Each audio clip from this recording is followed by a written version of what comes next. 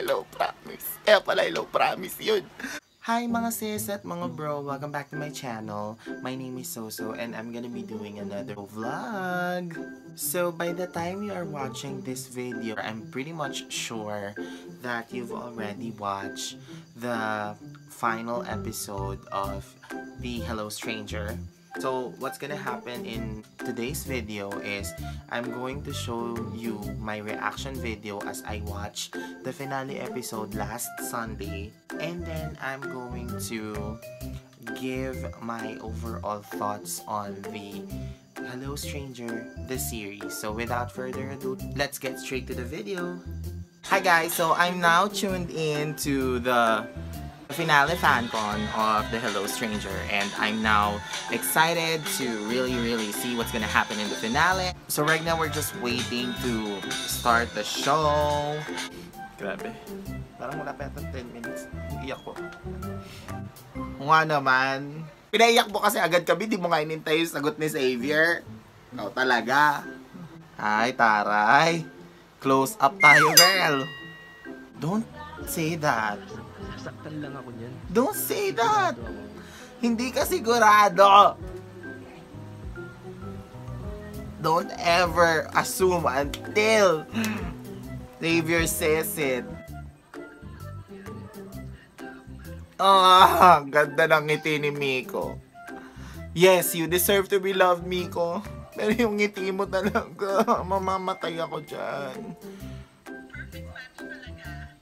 Eee, Tina! Please, please, please do the ship. Please, please.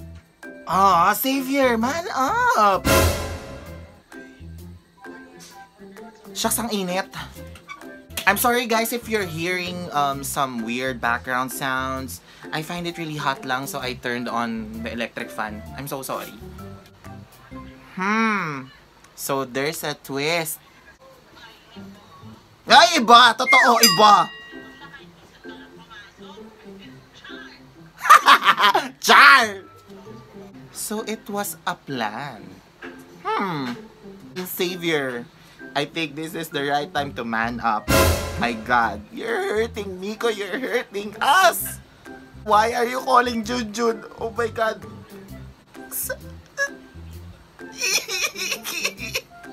ano bang nararamdaman ko sa bagal ng internet? I miss him. I miss him so much. Gusto ko siya makita. siya makasama. Ay, kumukulog. kumukulog, girl.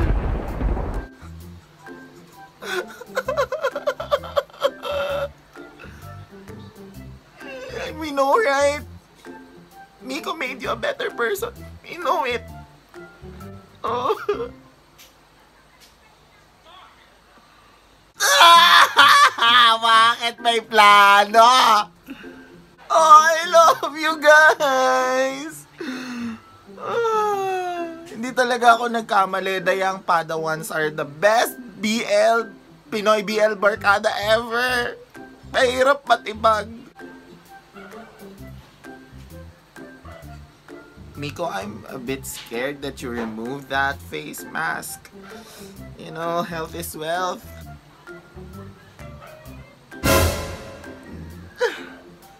não. Sina sabe.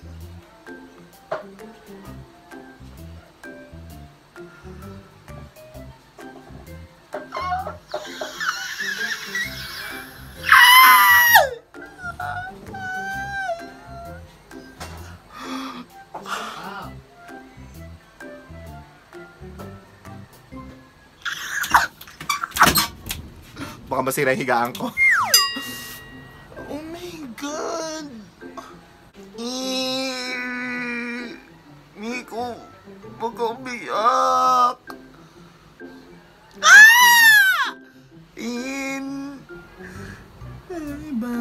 Oh my God! May do it! May do it! Hindi ko kaya. Mahal kita. Pa-reply naman dyan, Savior! Mahal kita. Ooh.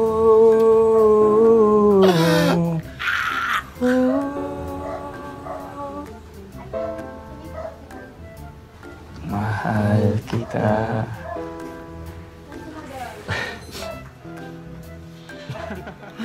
Oh my God. Oh my God. Hello, stranger. Stranger talaga. Di ba pwedeng... Hello... Hello, classmate.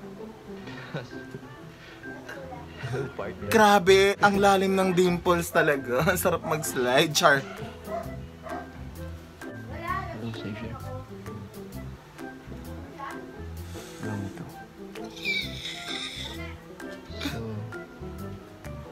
Sure ka na ba talaga sa akin ng tawag?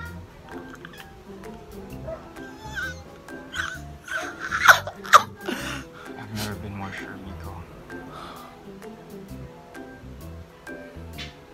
Promise? Promise. Hello, promise. Kaya pala hello, promise yun.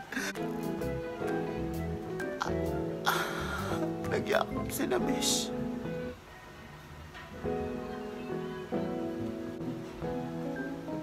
Eee, Biko, stop crying na.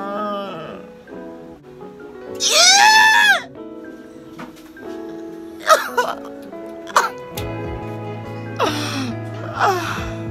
Ang sarap sa puso. Ang sakit ng umpisa pero ngayon ang sarap, sarap, sarap.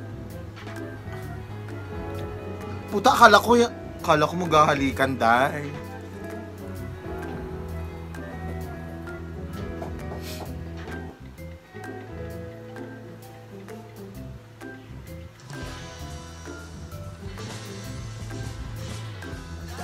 Ah!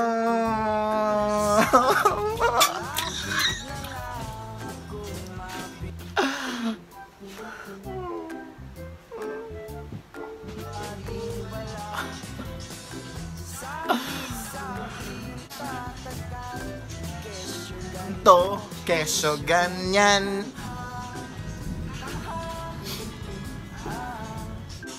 Ay, naku. Ay, naku talaga. I'm so happy. Ang ganda ng ending. We deserve a happy ending. Grabe na emotional pa rin ako. Sobrang ganda ng ending, Day. I like how they started it really. It's very normal. Alam mong makaka-relate ka kasi lahat ganun eh.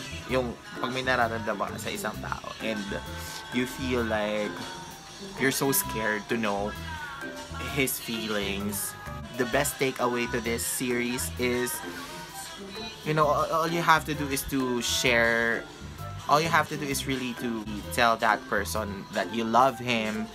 Galit na yung panahon. Eh, Hindi, feeling ko emotional yung panahon. Ang dilim, no?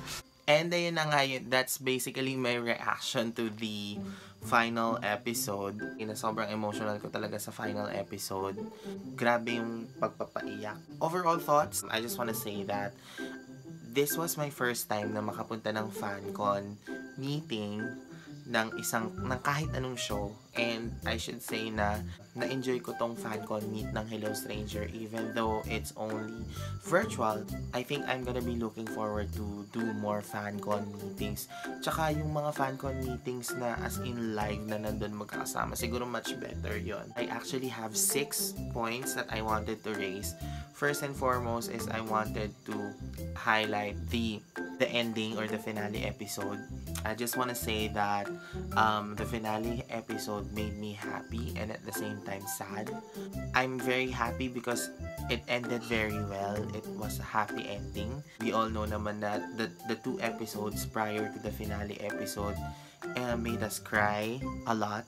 And we only wish na sana maging masaya yung mga characters, especially Miko and Xavier. But at the same time, I'm very sad because siguro ganun talaga eh. Like, Sepangs is real. Sepangs is really, really real.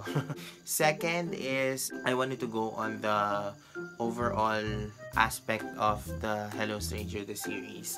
I just want to tell that I'm so happy that the series has blossomed or had blossomed into something that is really wonderful. I have to be very honest that at first I was a bit iffy about this, but as the series progresses, talagang nag-develop siya at gumanda ng gumanda yung story. Lalo na nung lumalim na yung perspectives ng mga bagay-bagay. Third is, I wanted to highlight on the young Padawans. I keep on telling this na the young Padawans are my favorite Pinoy BL Barkada so far. They portrayed a really, really good friendship na kailangan nating lahat talaga in these trying times of the pandemic. I like the diversity of the friendships. Um, I like how they were able to to portray different issues and how were they able to come up with resolutions on these issues. The fourth one that I would like to highlight is I totally commend all the supporting actors. Pat Free, si Kukay and Seth, they were so good in this series. In fairness, kinilig ako sa kanila and I wish na sana magkaroon sila ng, ng projects together in the future kasi bagay naman talaga sila. I- I'm also happy with the shippers at yung shippers ng show na to si Miss Tina for for starting everything, for starting the setup. I think without her, hindi naman din mabubuo talaga kung ano yung dapat mabuo between Nico and Xavier. And also, I wanted to highlight Junjun. Junjun was so good here sa series na to. I also wanted to shout out Jillian because she's so good din dito sa series na to even though sobrang iksi lang ng naging exposure niya. She was a very good antagonist here sa series na to. My fifth point is um, I'd like to commend Tony Labrusca here, Xavier, for being so consistent, for being so solid, and being so stable in portraying the role of Xavier here. And my sixth point, I should say, is I think this is the most important point that I wanted to raise in this Hello Stranger the series is JC Alcantara. His acting in this series is so superb. Sobrang galing niya talaga dito. I should say na lahat naman talaga sila dito magagaling pero iba din talaga yung pinakita dito ni JC. What I like about his character here is he represented many of us.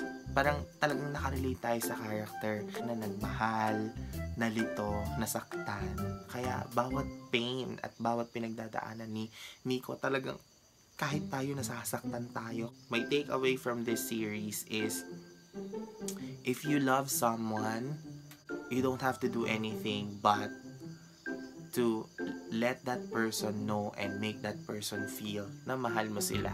Kasi, 'di ba, parang love is meant to be shared.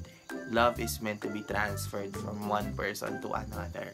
And I look forward to the movie.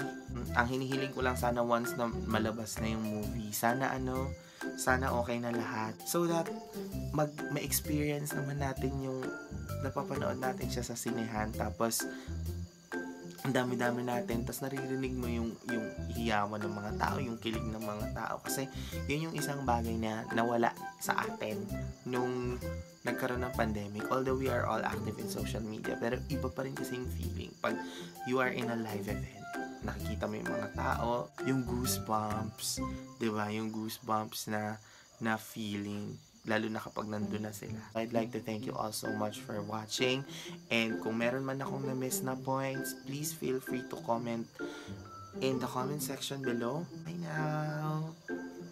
Kahit na anong sabihin ng iba.